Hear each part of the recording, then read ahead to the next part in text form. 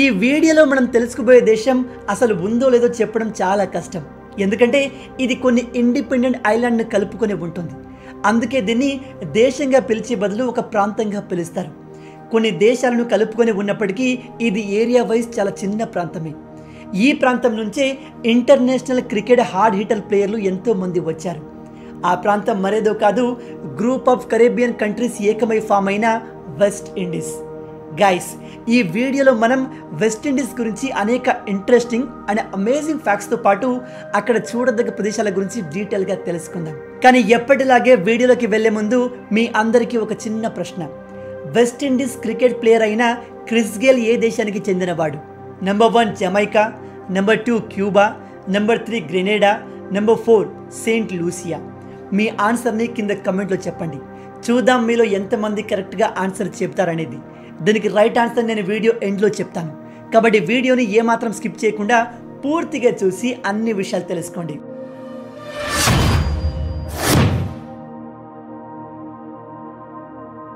నిజానికి వెస్టిండీస్ ఒక సెపరేట్ దేశం కాదు.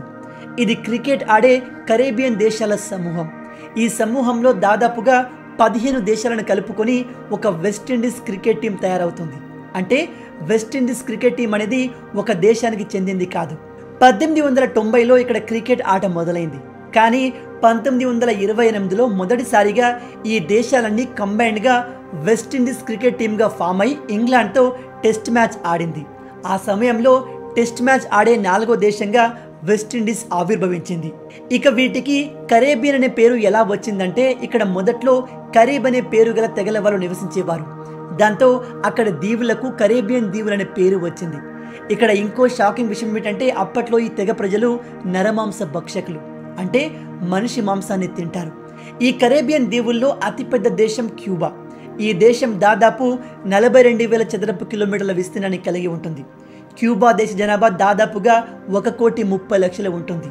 ఈ ప్రపంచంలో ఉన్న కొన్ని కమ్యూనిస్ట్ దేశాల్లో ఈ దేశం కూడా ఒకటి. ఈ కరేబియన్లో మరో దేశం బహమాస్. ఈ బహమాస్లో దాదాపు ఏడు వందల దీపాలు ఉన్నాయి. కానీ వాటిలో కేవలం ముప్పై ద్వీపాల్లోనే ప్రజలు నివసిస్తున్నారు. ఈ కరేబియన్ దేశాల్లో బహమాస్ దేశం చాలా ప్రత్యేకమైంది. మీరు హాలిడేస్ని ఎంజాయ్ చేయాలనుకుంటే ఖచ్చితంగా ఈ ప్లేస్ని విజిట్ చేయాల్సిందే. ఎందుకంటే ఇది ఒక డ్రీమ్ డెస్టినేషన్గా ఉంటుంది. ఇక్కడి నీలి ఆకాశం సుందరమైన బీచ్లు ఆహ్లాదకరమైన వాతావరణం పర్యాటకుల్ని ఎంతగానో ఆకర్షిస్తాయి. ఈ దేశ జనాభా కేవలం నాలుగు లక్షలే అయినప్పటికీ ప్రతి సంవత్సరం ఇక్కడ తొంభై లక్షల కంటే ఎక్కువగా పర్యాటకులు వస్తూ ఉంటారు. ఇక వెస్టిండీస్ క్రికెట్ టీం విషయానికి వస్తే ఈ టీం గురించి తెలియని వారు ఎవ్వరూ ఉండరు. ఎందుకంటే ఒకప్పుడు వెస్టిండీస్ బౌలర్లు అంటే బ్యాట్స్మెన్ల వెన్నులో వణుకు పుట్టేది.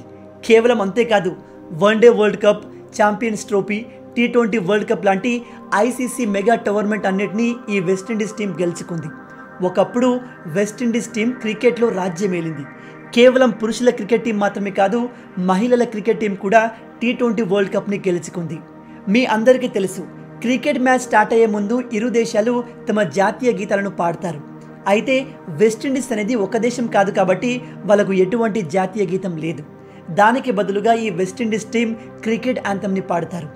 అలా వేరువేరు ద్వీపాలకు చెందిన పదకొండు మంది ఒక జట్టుగా క్రికెట్ యాంథమ్ని ఆలపిస్తారు. అయితే మీరు కరెక్ట్గా గమనిస్తే వెస్టిండీస్ టీం ఫ్లాగ్లో కూడా క్రికెట్ ఉంటుంది. ఇక వెస్టిండీస్ ప్రజలు కేవలం క్రికెట్ మాత్రమే కాదు ఫుట్బాల్ని కూడా ఎక్కువగా ఇష్టపడతారు. అంతేకాదు మన భూమి మీద ఫాస్టెస్ట్ మ్యాన్గా పిలువబడే హుస్సేన్ బోల్ట్ కూడా ఈ కరేబియన్ ద్వీపాలకు చెందినవాడే. వెస్టిండీస్ అనేది అనేక ద్వీపాల సమూహం. ఈ వెస్టిండీస్లో మన ఇండియా పేరు ఎందుకు ఉంటుందంటే పద్నాలుగు వందల తొంభై రెండులో కొలంబస్ మొదటిసారిగా ఈ దీవుల్లో చేరుకున్నాడు. అతను ఈ దీవుల్ని మొదటగా ఇండియాగా భావించాడు. ఆ తర్వాత అతను ఇది ఇండియా కాదని తెలిసి దీనికి వెస్టిండీస్ అని పేరు పెట్టాడు. భారత్కి వెస్టిండీస్కి మధ్య దగ్గర రిలేషన్ ఉండేందుకు మరో కారణం ఈ ద్వీపాలకు భారతీయులు పదహారవ శతాబ్దం నుంచే వస్తూ ఉండేవారు. చాలా కాలం ఈ ద్వీపాల్ని బ్రిటిష్ డచ్ వారు పరిపాలించారు. సరిగ్గా అదే సమయంలో మన దేశాన్ని కూడా బ్రిటిష్ వారు పరిపాలించారు. అలా డచ్ మరియు బ్రిటిష్ వారు దాదాపుగా పన్నెండు లక్షల భారతీయుల్ని బలవంతంగా ఈ ఐలాండ్స్కి కార్మికులుగా పంపించారు. కార్మికులుగా వెళ్ళిన భారతీయులు అక్కడే సెటిల్ అయ్యారు. అందుకే ఒకసారి మీరు వెస్టిండీస్ టీంని గమనిస్తే సునీల్ నారాయణ్ రవి రాంపాల్ శివనారాయణ్ చంద్రపాల్ లాంటి హిందూ క్రికెటర్లు కనిపిస్తారు. వెస్టిండీస్లో వేరువేరు దేశాల్లో వేరువేరు భాషలు మాట్లాడతారు. ఈ దేశాల్లో కామన్గా ఇంగ్లీష్ స్పానిష్ డచ్ భాషలు మాట్లాడతారు. ఇక్కడ ఇంకో ఇంట్రెస్టింగ్ విషయం ఏమిటంటే కొన్ని దేశాల్లో హిందీ భోజ్పూరి భాషలు కూడా మాట్లాడతారు. అలాగే ప్రపంచంలో అత్యధికంగా తాగుబోతులు మనకు వెస్టిండీస్లోనే కనిపిస్తారు. ఎందుకంటే వెస్టిండీస్లోని ప్రజలు ఎప్పుడు ఎంజాయ్ చేస్తూ కనిపిస్తారు. వారికి రేపటితో పని లేదు. ఫ్యూచర్ గురించి అసలు ఆలోచించరు. వాళ్ళు ఎప్పుడూ ప్రజెంట్లో బతకడానికి ఇష్టపడతారు. ఇక్కడ ఎప్పుడూ కూడా పార్టీ మూడే ఉంటుంది. రేపటి రోజు ఉంటుందో లేదో అన్నట్టుగా వాళ్ళు పార్టీలను ఎంజాయ్ చేస్తూ ఉంటారు. ఇక్కడ మ్యూజిక్ డ్యాన్స్లను ప్రజలు ఎక్కువగా ఎంజాయ్ చేస్తారు. ఇక్కడ దాదాపు ప్రతి ఇంట్లో ఒక రాక్ స్టార్ ఉంటాడు. చాలామందికి ఇన్స్పిరేషన్ అయిన Bob Marley Peter Tosh Dennis Brown లాంటి లెజెండరీ మ్యూజిషియన్స్ వెస్టిండీస్కి చెందిన వారే అలా ఈ దేశంలో ప్రజలు ప్రతిరోజు బీచ్లో మ్యూజిక్లు ప్లే చేస్తూ ఉంటారు. ఇక్కడ ఇంకో ఇంట్రెస్టింగ్ విషయం ఏమిటంటే వెస్టిండీస్ ప్రజలకు బంగారం వేసుకోవడం అంటే చాలా ఇష్టం. వారి ఆర్థిక పరిస్థితి ఎలా ఉన్నప్పటికీ వారి మెడలో పెద్ద పెద్ద బంగారపు చైన్లు దర్శనమిస్తాయి. దానికి తోడు ఈ దేశంలో బంగారం ఖరీదు కూడా తక్కువగా ఉంటుంది. ఇక్కడ ఇంకో ఇంట్రెస్టింగ్ విషయం ఏమిటంటే వెస్టిండీస్లో బియర్ చాలా పాపులర్ ఇక్కడ చాలా తక్కువ మంది బియర్ తాగకుండా కనిపిస్తారు. ఆశ్చర్యకరమైన విషయం ఏమిటంటే ఇక్కడి ప్రజలు బియర్లను మంచినీళ్ళు తాగినట్టుగా తాగుతారు.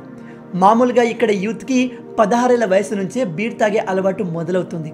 ఇక్కడి ప్రజలు ఈ బియర్ని సాఫ్ట్ డ్రింక్ లాగానే చూస్తారు. అలాగే మీరు ఎప్పుడైనా బ్లూ మౌంటైన్ కాఫీ గురించి విన్నారా? ఇది ప్రపంచంలోనే బెస్ట్ కాఫీ బ్రాండ్లో ఒకటి. దీన్ని వెస్టిండీస్లోని జమైకా అనే దేశంలో ప్రొడ్యూస్ చేస్తారు. ఒకవేళ మీలో ఎవరైనా వెస్టిండీస్కి వెళ్తే దీన్ని తప్పకుండా ట్రై చేయండి. ఎందుకంటే అక్కడికి వెళ్ళే టూరిస్టులు ప్రతి ఒక్కరు కూడా దీన్ని తప్పకుండా ట్రై చేస్తారు. వెస్టిండీస్ ప్రజల్లో చేపల పెంపకం చాలా ఫేమస్. ఇక్కడ ప్రతి ఒక్కరి ఇంటి ముందు ఒక చిన్న ట్యాంక్ కనిపిస్తుంది. అందులో వీళ్ళు చేపల పెంపకం చేస్తారు. అంతేకాదు జమైకా ప్రజలు ఫిషింగ్ ఎక్స్పోర్ట్ కూడా ఎక్కువగా చేస్తారు. అక్కడి గవర్నమెంట్ కూడా ఫిష్ ఎక్స్పోర్ట్స్ కోసం లోకల్ బిజినెస్ మనను బాగా సపోర్ట్ చేస్తుంది. ఎందుకంటే ఇక్కడి దేశాలకు అన్ని వైపులా నీళ్ళే ఉంటాయి. కాబట్టి చేపల పెంపకమే మంచి అనువైన బిజినెస్. ఇక వెస్టిండీస్లో చూడదగ్గ ప్రదేశాల విషయానికి వస్తే నంబర్ వన్ క్యూబా. కరేబియన్ సముద్రంలో ఉన్న క్యూబా నార్త్ అమెరికా ఖండంలో ఒక చిన్న దేశం. నిజానికి క్యూబా కొన్ని ద్వీపాల సమూహం. ఈ దేశం దాదాపు ఐదు వేల కిలోమీటర్ల తీరరేఖను కలిగి ఉంది. ఈ దేశం ఎక్కువ భాగం బీచ్లతో నిండి ఉంది. ఇక్కడ పర్యాటక ప్రాంతాలైన వారాడేరో కాయాకోకోలో ప్రపంచంలోనే టాప్ బీచ్లు కనిపిస్తాయి. క్యూబా రాజధాని హవానా వరల్డ్ హెరిటేజ్ సైట్గా గుర్తించబడింది. క్యూబాలోని బెస్ట్ సిటీస్లో ట్రినిడాడ్ కూడా ఒకటి.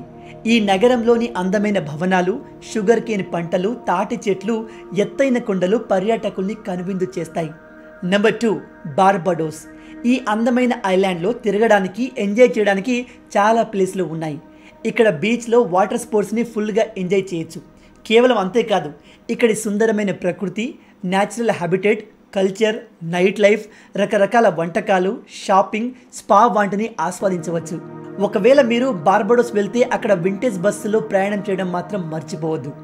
Number three Jamaica. కరేబియన్ దీవుల్లో నాలుగవ అతిపెద్ద దేశం జమైకా. ఈ దేశానికి అన్ని వైపులా దాదాపు యాభై అందమైన బీచ్లు ఉన్నాయి. అవి ఎనీ టైం పర్యాటకుల కోసం ఓపెన్గా ఉంటాయి. ఇక్కడ ఇంట్రెస్టింగ్ విషయం ఏమిటంటే జమైకా వెళ్ళేందుకు మన భారతీయులకు ఎటువంటి వీసా అవసరం లేదు.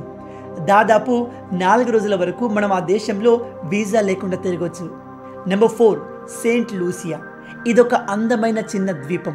ఇక్కడి అందమైన బీచ్లు అగ్నిపర్వతాలు రీఫ్ రైడింగ్ సైట్లు పర్యాటకులకు ఒక కొత్త అనుభూతినిస్తుంది కేవలం అంతేకాదు ఇక్కడి రెయిన్ ఫారెస్ట్లలో అందమైన వాటర్ ఫాల్స్ ఉంటాయి.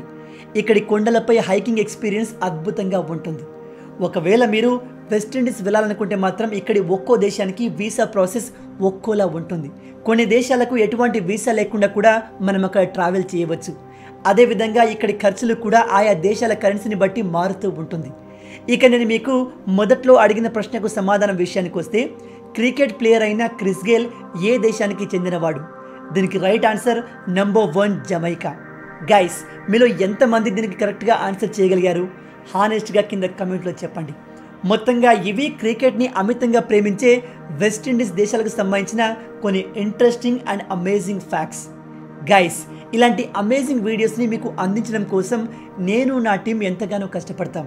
కాబట్టి ఊరికి అలా చూసి వెళ్ళిపోకుండా వీడియో నచ్చితే లైక్ చేసి మా ఛానల్ని సబ్స్క్రైబ్ చేసుకోండి. మీరు చేసే ప్రతి ఒక్క లైక్ అండ్ సబ్స్క్రిప్షన్ అనేది మాకు మరిన్ని వీడియోస్ చేయడానికి ఒక మోటివేషన్లా ఉంటుంది. అలాగే రాబోయే వీడియోలో మీరు ఏ దేశం గురించి తెలుసుకోవాలనుకుంటున్నారో అది కూడా కింద కమెంట్లో చెప్పండి. నెక్స్ట్ వీడియోలో మరో ఇంట్రెస్టింగ్ కంట్రీతో మళ్ళీ కలుద్దాం. అండ్ దెన్ జై హింద్